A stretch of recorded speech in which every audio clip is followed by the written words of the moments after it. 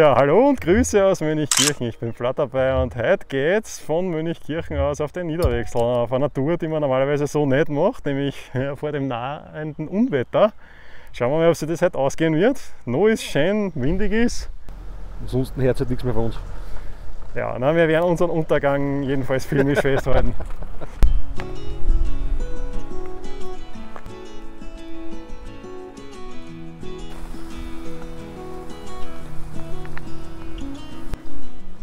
Der Rastexperte spricht. Ja, da können wir die erste Rast machen, dort die zweite und da hinten die dritte.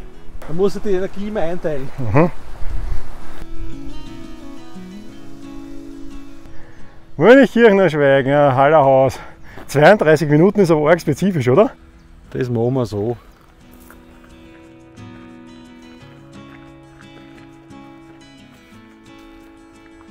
Quellschutzgebiet. Unten ist die Quelle.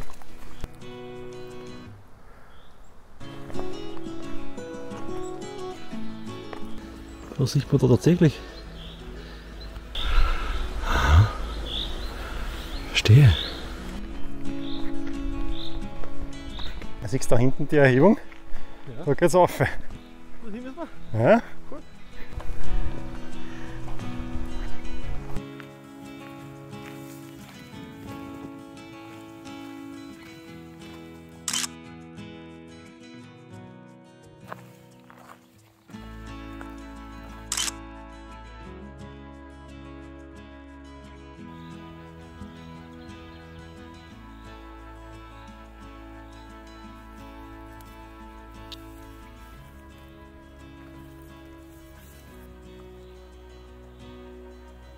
Festlitzattel. Aha, sehr günstig. Mhm. Na gut, dann gehen wir da, oder? Ja.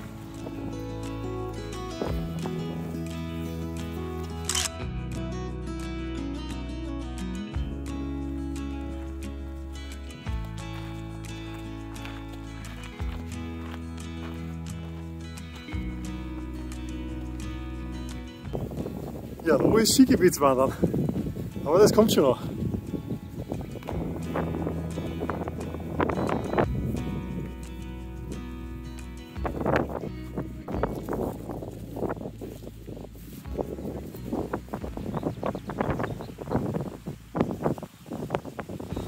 Tja, das mit diese ganz arg spezifischen Wegweiser mit 28 Minuten zum Hallerhaus, das geht so weiter.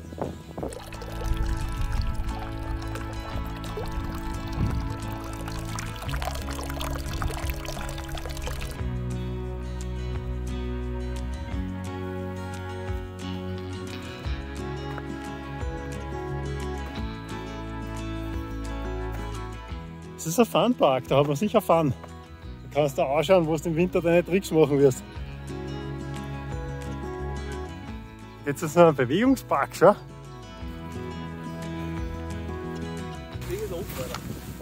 Okay. Mhm. Na spannend, was das so sein wird, ha?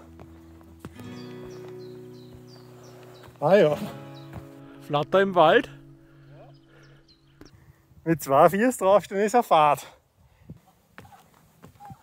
Ja, das ist ja noch leichter.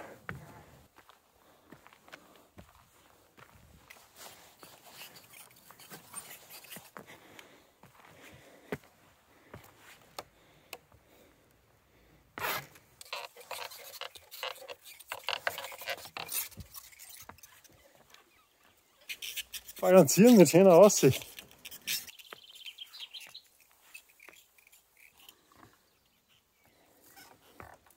Der ist ja gemein. Die sind schon schwierig. Jetzt habe ich dich doch angelockt, gell? Ja, angelockt, ja. Ja. Da war gerade so was.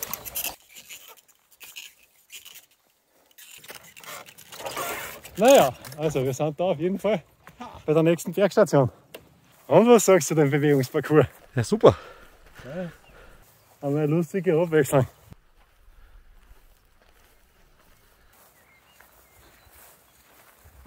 Ja, Milchkannen kegeln wollen wir aber nicht, oder? Nein. Wir wollen rauf. Wie Asrael ganz richtig bemerkt hat, da oben ist die nächste Bude. Und das ist das Hallerhaus. Da oben könnten wir jetzt aber schon ein kleines kurze Rast machen. Ne? Wir können immer Rast machen. Schau, Feistrittsattel. In vier, dreiviertel Stunden. Niederwechsel in eineinhalb Stunden.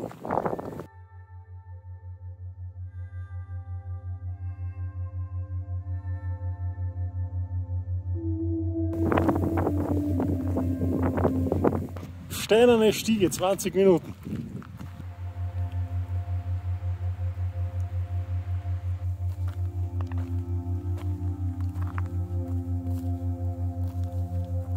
Da machen wir jetzt Pause, oder? Da machen wir jetzt eine Pause, hätte ich gesagt, ja. Gehen wir auch eins von diesen Banken da, oder?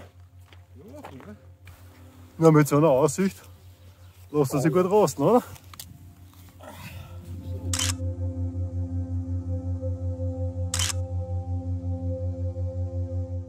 Almfest, Frühschoppen mit Live-Musik. Nimm zwei. Na, nimm zwei ist super, die kann man lutschen. Aber ich glaube, da kann man auch auf, weil da habe ich nämlich eine Markierung erspäht. Tatsächlich. Na schau.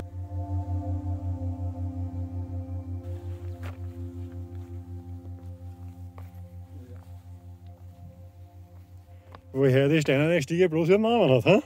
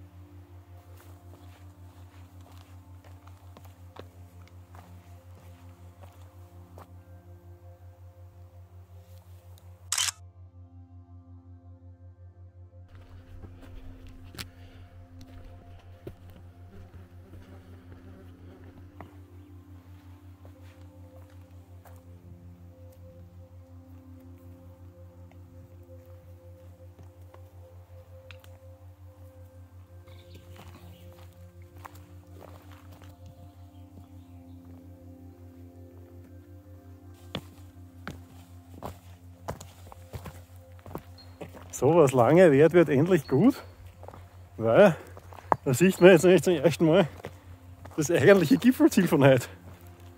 Der Niederwechsel ragt da vor uns auf. Der unscheinbare Hügel da.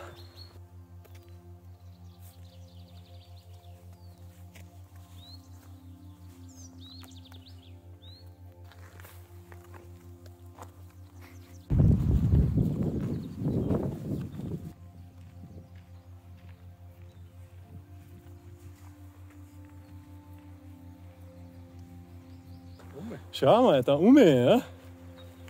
Man kann es glauben. Man hätte sich so schon an den Weg gewöhnt, gell? Jetzt aber.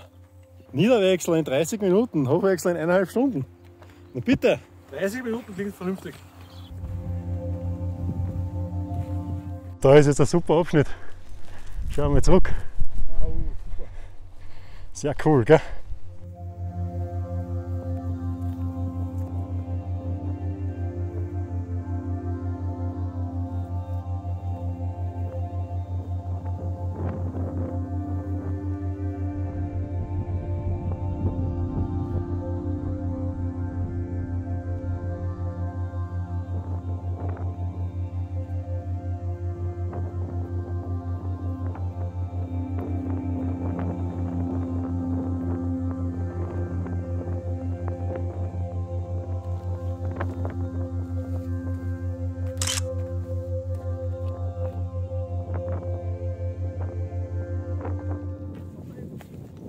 Entgegen, ja? Diesmal klappt es mit dem Sonnenuntergang.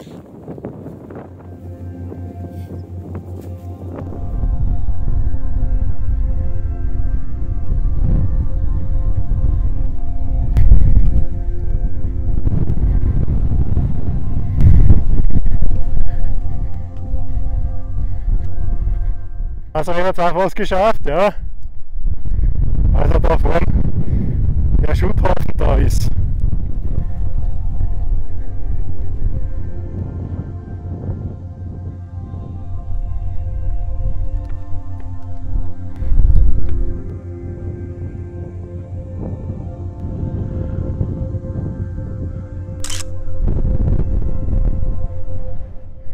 Guck mal, Israel, die letzten Meter.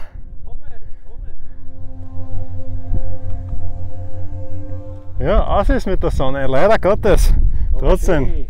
Berg, bergfrei vom Niederwechsel. Drüben sieht man jetzt Hochwechsel, Wetterkoglerhaus, Schöberlriegel, Umschussriegel. Im Hintergrund noch zu erkennen der Schneeberg. Und mit der Sonne ist es aus, da kann ich euch maximal noch das Verschwinden der Sonne zeigen. Also ein paar Momente am Gipfel haben wir für eine kleine Rast. Ich glaube, recht viel Zeit werden wir uns nicht lassen. Ich werde vielleicht. Zeitraffer werde nehmen. Schau, da sieht man auch sehr schön, schau, oben durchs Eis die Regenbogenfärbung. Ja, Siehst ja.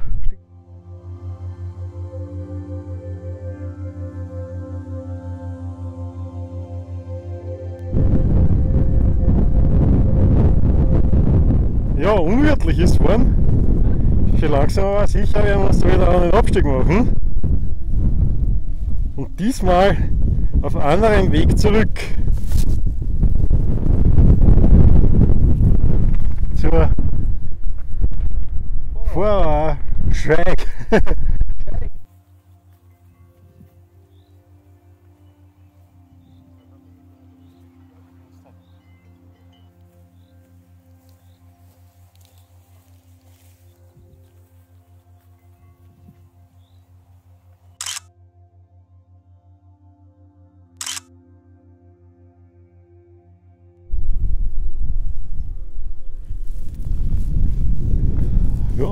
Niederwechsel, 30 Minuten, da kommen wir her. So da, da gehen wir jetzt durch bei der Vorauer Schweig.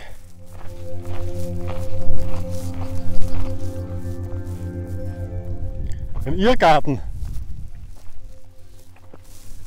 Steinerne Stiege in 30 Minuten da rauf. Ja, wollen wir nicht mehr. Auf ist langweilig, oder? Studentenkreuz, Münchkirchen, zwei Stunden. Was ist heute nicht Mittag? Nein, Ah, hier ein Bieren. Das ist aber schade. Den haben wir vergessen. Tja. Israel, Israel, wo soll das noch enden? Also Israel wird mich heute bei der Beleuchtung unseres Abstiegs nicht unterstützen können. Es macht nichts, ihr werdet auch so nichts sehen.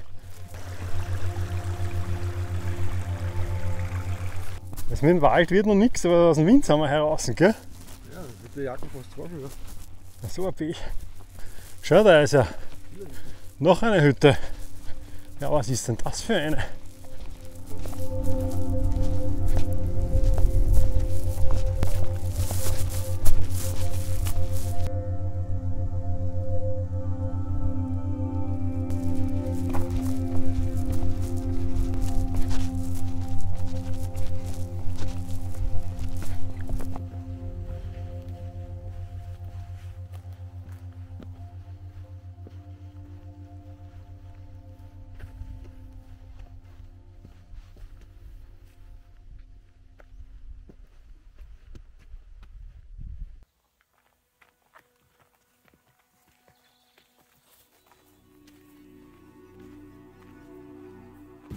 Das hat übrigens einen riesen Vorteil, wenn wir in die Richtung gehen, weil da sehen wir nämlich nicht, wie uns das Unwetter verfolgt. Da vorne der Gegenanstieg, doch zum Glück ist das nicht wahr. Weil da zeigt es nämlich ab auf einen Steig.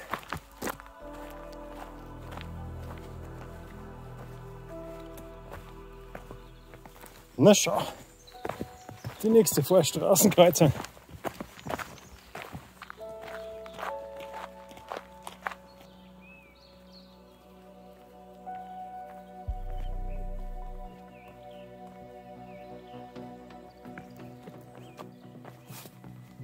Und Jetzt haben wir 10 Kilometer übrigens. Okay. Wie viel sind es ungefähr? 15 hast du? Ich habe gesagt 15 circa. Ja, die Kamera sieht inzwischen wenig. Israel sieht zum Glück noch was. Ja, wie hast du das noch erkannt? Am Himmel sieht man das schon. Nein, aber es ist immer noch vom Wetter her. Vom Wetter halt aus, ja.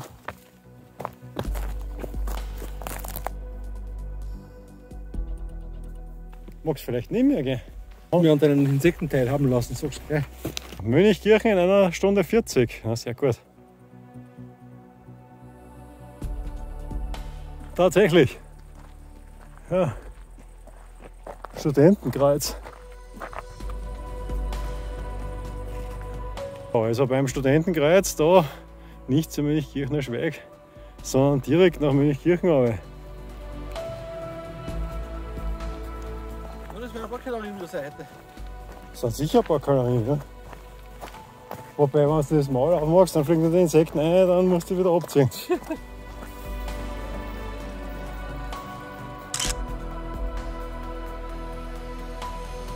ja, Abzweigung zum Studentenkreuz, Wetterkogel aus. Und auf der anderen Seite ist mehr oder weniger der Skipistenaufstieg. Asrael, woran erkennt man, dass du am Berg warst? Du schaust so heruntergekommen aus. Wir sind also tatsächlich wieder heruntergekommen vom Niederwechsel. Stehen da am Parkplatz in Mönchkirchen. Windig ist, wir haben es geschafft, das Sonnenwetter ist nicht gekommen. Gibt es von deiner Seite irgendwas zum Sagen? Nein. Nein, bist du sprachlos? Ich bin sprachlos, ja. Günstig. Na, sehr gut. Ja, dann hat es eigentlich nicht mehr. Ich war dabei. Du bist auch rein und vielleicht sieht man sich ja mal bei einer anderen Tour. Jede Bewegung, die nicht der Nahrungsaufnahme oder der Fortpflanzung dient, ist unnötig. Nur der Spruch von meinem Vater. Der ist übrigens dran verreckt an dem Spruch. Da vorne auf, der Berg ruft. Weißt du, was er schreit? Bleibst daheim!